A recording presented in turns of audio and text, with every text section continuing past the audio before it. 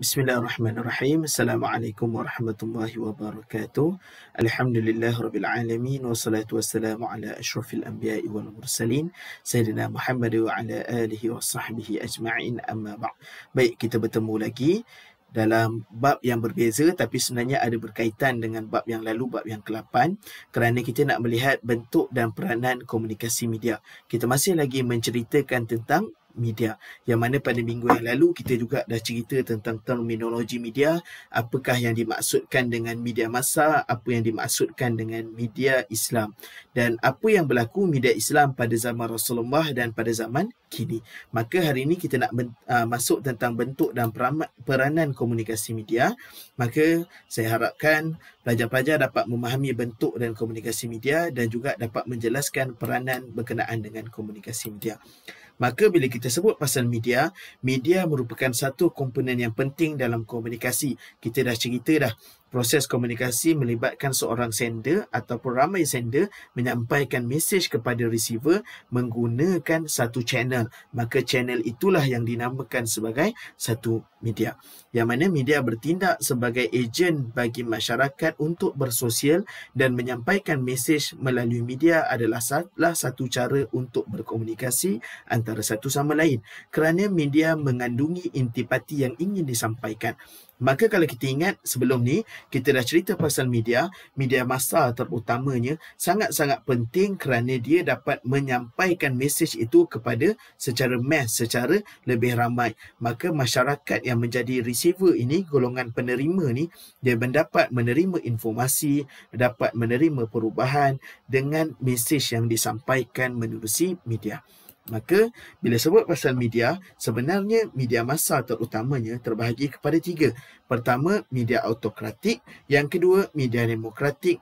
Dan yang ketiga, media laissez-faire. Baik, yang pertama, media ataupun komunikasi autokratik ini hmm. bermaksud komunikasi sehala yang mana sender menyampaikan mesej kepada receiver pada masa yang sama receiver ni tidak boleh melakukan imbal balik.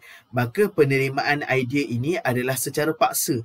Maka kalau sebagai contoh dalam kelas kita, ustaz hanya sampaikan mesej sahaja dan korang sebagai receiver tidak boleh langsung membuat imbal balik, tidak boleh langsung memberi feedback apa yang ustaz uh, dengan apa mesej yang Ustaz sampaikan, maka dia menjadi autokratik.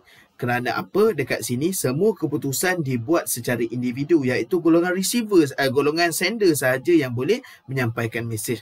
Pada masa yang sama sebenarnya, komunikasi autokratik ini tidak sesuai dalam persekitaran organisasi masyarakat. Kerana kita perlu ada feedback perlu ada give and take.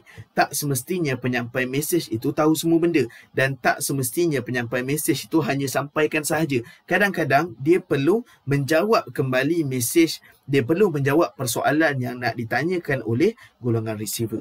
Ini yang pertama, komunikasi autokratik. Yang kedua yang terbaik adalah komunikasi demokratik. Kerana komunikasi demokratik ini ada bersifat dua hala yang mana sender menyampaikan mesej kepada receiver pada masa yang sama receiver juga akan menyampaikan mesej kepada sender yang mana menerima pandangan dan kritikan yang dikemukakan. Kita sebagai seorang penyampai, ada kalanya apa yang kita kata tu benda tersebut tidak benar ataupun perlu penambahbaikan. Maka dekat sinilah pentingnya komunikasi demokratik. Yang mana komunikasi demokratik dia mengutamakan uh, kepentingan dan matlamat organisasi, kepentingan komunikasi tersebut berbanding dengan kepentingan peribadi. Dan dia melibatkan semua pihak dalam membuat sesuatu satu keputusan. Biasanya kalau kita berkomunikasi secara bermesyuarat sebagai contoh, biasanya kita akan pakai demokratik. Tak semestinya pandangan kita tu diterima. Tak apa. Kita lontarkan pandangan kita. Kalau ada orang ada pandangan yang lebih baik, dia akan beritahu pandangan dia. Maka kita akan bincang dalam mesyuarat tersebut. Maka inilah komunikasi demokratik. Biasanya kalau kita menggunakan media massa, kita juga memerlukan komunikasi demokratik ini sebab dia memberi kelonggaran kepada pihak yang lain untuk membuat sesuatu keputusan. Dan yang terakhir, ada komunikasi yang digelar sebagai komunikasi laissez-faire. Apa dia komunikasi laissez-faire ni? Dia penyampaian mesej tanpa batasan. Dia terus sahaja menyampaikan apa-apa mesej tanpa mengira kesan sampingan kepada golongan receiver. Kadang-kadang perkara yang kita nak sampaikan, benda tersebut baik, tak ada masalah. Yang jadi isunya adalah sekiranya kita menyampaikan mesej-mesej yang tak penting, mesej-mesej yang tak benar, kita hanya terus sampaikan sahaja, tidak memikirkan memikirkan apa kesan yang akan berlaku, apa implikasi yang akan berlaku, itu adalah komunikasi laissez-faire. Biasanya dia melakukan kerana kepu- kepuasan dan juga keuntungan peribadi. Dia tidak ada panduan arahan dan juga dia tidak ada apa-apa keputusan yang yang mana boleh dibuat oleh sesiapa sahaja dan juga memberi kebebasan sepenuhnya kepada seseorang atau pihak yang tertentu. Bermaksud komunikasi laissez-faire ni adalah komunikasi berat sebelah dan dia dia tidak ada satu matlamat dan objektif komunikasi. Sebab kalau kita ingat balik tujuan komunikasi itu nak menjadikan sesuatu itu milik bersama. Mesej yang kita nak sampaikan informasi ilmu yang kita nak sampaikan sepatutnya jadi milik bersama. Tetapi ini adalah secara paksaan. Dan sangat tidak sesuai digunakan dalam organisasi yang besar. Tapi percaya ataupun tidak laissez-faire ini berlaku dalam media. Kerana apa? Ini satu kajian 90% media besar di dalam dunia. Kita tak ceritalah media Malaysia eh. Media di dalam dunia ini di 90% dia dikawal oleh enam syarikat media sahaja. Ini yang berlaku. Maka secara tak langsung apa yang nak disampaikan oleh media-media tersebut, berita-berita ataupun tayangan-tayangan filem dan sebagainya, semuanya telah dikawal. Dan ini antara dia. Yang mana uh, sebagai contoh Disney TV. Disney dia mengawal dia adalah satu organisasi yang besar. Di bawah Disney ada ABC News di bawah Disney ada A&E ada ESPN dan sebagainya. Pada masa yang sama bawah Time Warner. Time Warner di bawah Time Warner ada CNN di bawah Time Warner ada Bloomberg ada HBO dan sebagainya. Begitu juga uh, CBSO dia ada Showtime dia ada Viacom dan juga NBC. NBC di bawah NBC dia ada beberapa syarikat-syarikat TV yang lain. Maka secara tak langsung sebenarnya kalau kita nak lihat adakah semua syarikat-syarikat ini, semua media-media masa ini bergerak bebas? Dah tentu tidak.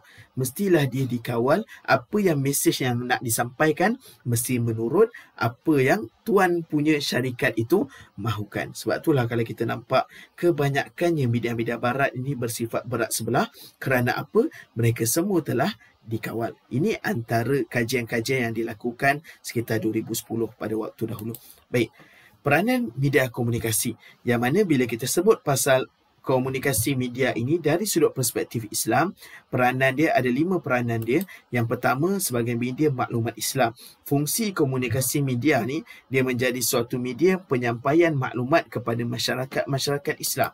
Yang kedua, kita dapat kawal persekitaran. Kita nakkan kawal tanggapan-tanggapan masyarakat, apa perkara-perkara yang buruk berlaku, kita perlu kawal dahulu perkara tersebut. So, apabila ini sebagai satu propaganda sebenarnya, tapi satu propaganda yang baik. Sebabnya kalau kita biarkan sahaja media-media seperti laissez-faire dan sebagainya, maka masyarakat akan menerima mesej-mesej yang salah. Seterusnya akan mewujudkan persepsi maka Islam datang membawa nasihat dan peringatan dengan mengajak atau menyeru amar ma'ruf nahi mungkar serta bersifat menyampaikan sesuatu yang benar dan tiada putar belik fakta dan juga menyampaikan kebenaran demi kepentingan diri ataupun kumpulan. Selain itu, fungsi media ini menggalakkan perbincangan. Bila ada media, maka kita dapat berkongsi ilmu, kita dapat berkongsi informasi dan sebagainya. Dan satu perkara hikmahnya uh, kita ada ODL ni, Open Distance Learning ni, masing-masing duduk dekat rumah, belajar melalui media yang ada sekarang ni, kita dapat menggalakkan perbincangan secara tak langsung sebenarnya. Ustaz pun dapat pelajar-pelajar yang luar daripada kelas ustaz. Sebab mereka mungkin menonton YouTube dan sebagainya, maka mereka dapat berbincang tentang perkara-perkara yang baru. Begitu juga dengan seminar-seminar. Sekarang ni kita dah ada webinar yang mana kalau dekat UiTM sendiri sebagai contoh, kita dah ada webinar sampai enam siri dah dengan negara Indonesia. Kalau sebelum ni nak suruh dia datang ataupun kita nak ke Indonesia, benda tu mungkin kos. Sebab benda tu uh, memerlukan kos yang tinggi. Tetapi bila mana webinar ini secara live dan kita boleh berbincang dengan negara Indonesia tentang isu-isu semasa. Ini antara kebaikan hikmah yang Ustaz nampak di sebalik COVID-19 ni. Baik, selain daripada itu, media masa juga berperanan, komunikasi media juga berperanan sebagai medium hiburan. Macam Ustaz bagi tahu sebelum ni, hiburan tersebut tidak salah. Hukum hiburan asalnya adalah harus. Tetapi mengikut apakah hiburan yang nak dihidangkan. Kalau hiburan tersebut melalaikan, terlampau memuja-muja makhluk, terlampau memuja-muja manusia dan sebagainya, tidak mengingati Allah Ta'ala, maka dia boleh membawa kepada haram. Tetapi sekiranya hiburan tersebut membawa kita mengingati Allah Subhanahu Wa Ta'ala, meningkatkan mutu kehidupan kita, memberi kita motivasi, maka hiburan tersebut dibenarkan dalam Islam. Baik, yang berikutnya sebagai pendorong perubahan. Fungsi media ni dia untuk untuk sebagai seorang komunikator menyampaikan mesej kepada lebih ramai orang, maka sebab itulah dia memerlukan media. Maka media ini berperanan untuk mendorong perubahan golongan-golongan receiver daripada tak tahu kepada tahu. Zaman sekarang ni kita nak dapat macam-macam ilmu senang je. Kita Google, kita Google, kita Google, kita dapat sesuatu perubahan yang baru. Baik, sebagai kesimpulan dia, komunikasi media memainkan peranan yang sangat penting bukan hanya merangkumi perkara-perkara keduniaan semata-mata, malahan komunikasi media juga membawa kita kepada akhirat sekiranya kita melakukan sesuatu itu kerana Allah Subhanahu Wa Taala. Komunikasi media seharusnya menyeimbangkan perlu seimbang tawazun antara kepentingan dunia dan akhirat sebelum menyebarkan sesuatu perkara ataupun sesuatu informasi kepada masyarakat agar masyarakat tersebut tidak terpengaruh dengan perkara-perkara yang tidak benar. Setiap insan perlu berperanan menyempurnakan amanah dan tanggungjawab sebagai hamba dan khalifah dalam segala bentuk komunikasi media bagi melayakkan diri mendapat keredaan dan kebahagiaan daripada Allah Subhanahu Wa Taala. Baik, sebagai kesimpulan dia, itu yang dua kuliah yang Ustaz menyampaikan pada bab yang ke-8 dan ke-9 berkenaan dengan komunikasi media. Maka Ustaz akan tinggalkan soalan-soalan untuk korang semua jawab dalam future itu sahaja. Wallahu a'lam. Wassalamualaikum warahmatullahi wabarakatuh